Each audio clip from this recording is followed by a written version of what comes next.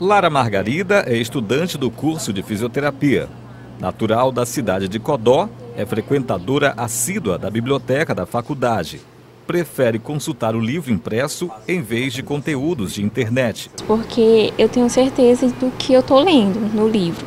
Já na internet, eu não tenho tanta certeza nos sites que eu estou lendo, porque muitas vezes eles botam informações erradas no site, não tem referência no, no, no site de, de internet.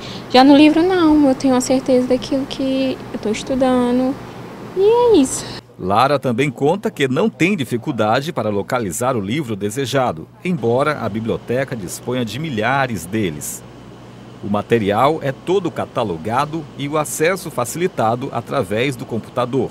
Essa organização do acervo, entre outras atribuições, é feita pelo profissional bibliotecário.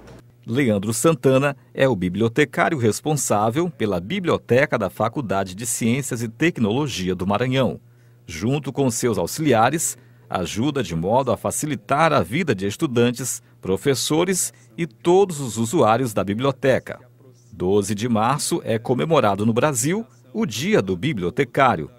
Profissional formado na área, Leandro se diz realizado. O bibliotecário, ele não é o guardião do livro. O bibliotecário é o agente da informação. O bibliotecário é aquele profissional que é, armazena os conteúdos, é, os dados para que os usuários de uma biblioteca, de um centro de informação, possam transformar esses materiais em conhecimento.